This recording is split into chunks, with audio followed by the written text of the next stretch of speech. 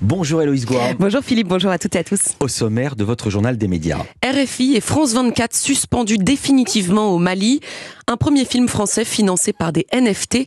Et puis la création d'une nouvelle crypto-monnaie pour financer des œuvres audiovisuelles. C'est français. On en parlera avec sa créatrice Sarah Lelouch. Mais d'abord, les audiences qu'ont regardé les Français hier soir. En première place, France 2, médaille d'or euh, pour le téléfilm à suspense Disparition inquiétante. La fiction euh, avec euh, notamment Charlotte de Turckheim a attiré 3 408 000 téléspectateurs. C'est 16,1% de part d'audience. Une deuxième place pour TF1 avec Grey's Anatomy. 2 267 000 téléspectateurs, soit 10,9% du public devant son écran. En troisième place, M6 avec Top Chef qui a connu une petite baisse. Seuls 2 194 000 téléspectateurs étaient devant euh, ce programme, c'est 12,6% de part d'audience. Et enfin, à noter un beau succès pour TMC qui diffusait euh, hier le spectacle de Jérôme Commandeur. 1 37 000 téléspectateurs étaient euh, devant ce spectacle, soit 5,3% de part d'audience. Europe Culture Média. Et on ouvre ce journal en partant au Mali. Les médias RFI et France 24 viennent d'être suspendus définitivement dans le pays. Et oui, c'est une décision de la haute autorité de la communication du Mali qui a été rendue publique hier. On vous en avait parlé ici, la chaîne de télé France 24 et la station de radio RFI n'étaient déjà plus diffusées au Mali euh, depuis le 17 mars dernier. Selon la junte malienne au pouvoir, ces deux médias français auraient rapporté de fausses allégations d'exaction contre des civils commises par l'armée. Dans un communiqué publié hier, France Média Monde, la maison mère de France 24 et RFI, a contesté avec force cette décision.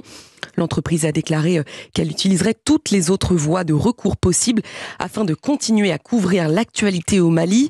Pour le moment, les réseaux sociaux de ces deux médias restent accessibles dans le pays. Le groupe a précisé à l'AFP que France 24 et RFI allaient bénéficier, en partenariat avec euh, RSF, euh, Reporters sans frontières, de sites internet miroirs via des adresses qui ne pourront pas être coupées par les autorités maliennes. C'est un peu ce qui se passe en Russie également pour beaucoup de médias en ce moment. Dans l'actualité également, la Fédération internationale des journalistes condamne le rachat de Twitter par Elon Musk. Cette fédération voit dans ce rachat une menace pour le pluralisme et la liberté de la presse. L'homme le plus riche du monde a proposé 44 milliards de dollars pour racheter ce réseau social et il a obtenu le feu vert de l'administration du conseil de Twitter. La Fédération des journalistes est la plus grande organisation mondiale de la profession. Elle représente 600 000 journalistes à travers 146 pays. Et cette fédération regrette que Twitter, qui compte aujourd'hui 400 millions d'utilisateurs à travers le monde, soit bientôt, soit bientôt euh, détenu par une seule personne au lieu de plusieurs actionnaires. Et alors concrètement, selon la FIJ, quelle décision d'Elon Musk pourrait menacer la liberté de la presse Eh bien, dans un communiqué euh, publié hier, la fédération s'inquiète qu'Elon Musk appelle à davantage de contrôle d'authentification des utilisateurs de Twitter. Selon cette organisation, l'absence d'anonymat remettrait euh, sérieusement en cause la protection de nombreux journalistes et de sources à travers le monde. Autre point d'inquiétude, le désir d'Elon Musk de voir de moins en moins de modération et de réglementation sur Twitter. La FIJ estime que cela pourrait augmenter la désinformation et menacer le journalisme de qualité. On revient en France avec du cinéma et même on va parler de son financement, le tout premier film français financé par des NFT. Un film qui s'appelle Plush comme peluche en français. C'est un long métrage d'animation français qui sera financé par des NFT. C'est une information euh, qu'ont révélé nos confrères du Parisien. Rappelons que les NFT, ce sont des jetons non fongibles qui correspondent en fait à des titres de propriété numérique. Oui, c'est encore un peu obscur. Avec hein, le mot fongible, déjà, il est pas simple. On l'utilise pas tous les jours, c'est vrai. Ce film d'animation euh, Plush raconte l'histoire de nounours bien décidés à agir pour l'environnement. Et on connaît déjà le nom des artistes qui ont accepté d'y contribuer. On entendra par exemple les voix d'Éric Judor, d'Audrey Lamy, de Camille Lelouch, de Gims, de Dajou ou encore de Kev Adams. Alors si l'élaboration du film n'en est qu'à ses débuts, un tout petit teaser est déjà disponible sur Internet. On y voit simplement plusieurs ours en peluche danser sur cette musique.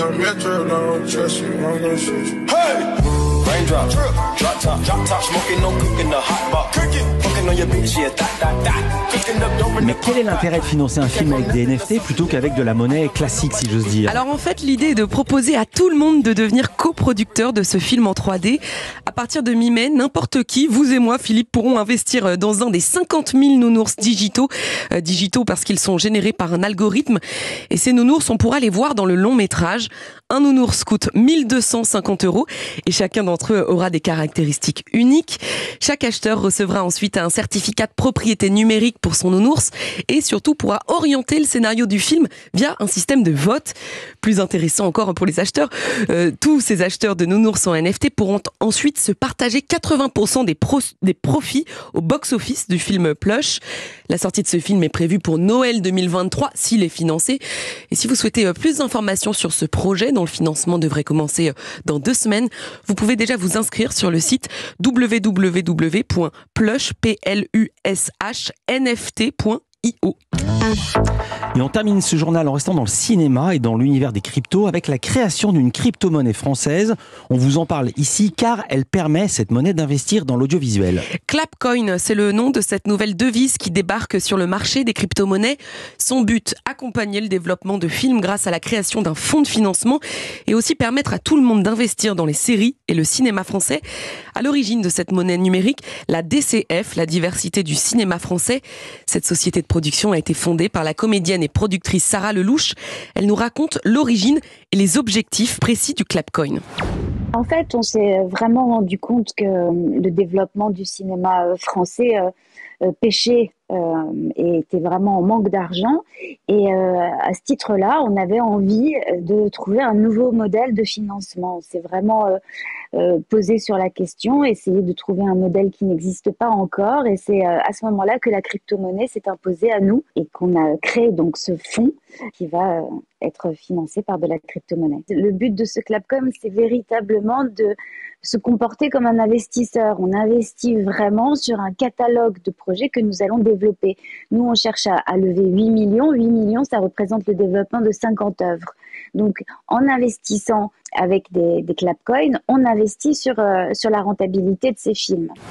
Pour bénéficier de l'aide financière de la DCF, les œuvres audiovisuelles, ce sera euh, des longs métrages, des séries, des documentaires, ces œuvres seront étudiées par un comité d'experts parrainé par Claude Lelouch et présidé par Julie Gaillet. Euh, ce comité se compose de dix membres permanents, dont Kev Adams, Valérie Perrin, Fred Mussa, Fianso ou encore Elsa Zilberstein. Et Julie Gaillet qui sera notre invitée dans quelques minutes. Sarah Lelouch nous explique le fonctionnement de cette crypto-monnaie euh, pour ceux qui souhaitent investir dans les séries ou le cinéma français. Quand on va acheter ces clapcoins, on va avoir euh, pas mal de droits associés. Déjà, on va investir dans une euh, pellicule, investir sur un ensemble de catalogues de films qu'on va développer. Donc c'est un vrai investissement. Mais à côté de cet investissement, on a des droits associés, comme par exemple des places en avant-première, une journée en coulisses avec euh, des comédiens. Si vous mettez un euro, vous avez 10 clapcoins. Les projets sont des projets que nous allons euh, sélectionner. C'est vraiment ouvert au grand public. C'est d'ailleurs l'ambition de ce projet, c'est de se frotter euh, au public, de lui demander son avis, de créer une vraie communauté qui va pouvoir s'impliquer dans le développement euh, des films français. Donc euh, oui, c'est vraiment ouvert à tout le monde. Il est possible d'acheter des clapcoins depuis aujourd'hui. Si vous souhaitez en savoir plus sur cette crypto-monnaie ou si vous souhaitez euh, soumettre un projet dans l'audiovisuel, vous pouvez vous rendre sur le site de la DCF www.la-dcf.com. Merci beaucoup Eloïse Goua. Toutes ces infos à retrouver dans notre newsletter média. L'inscription est gratuite sur europe1.fr. À demain.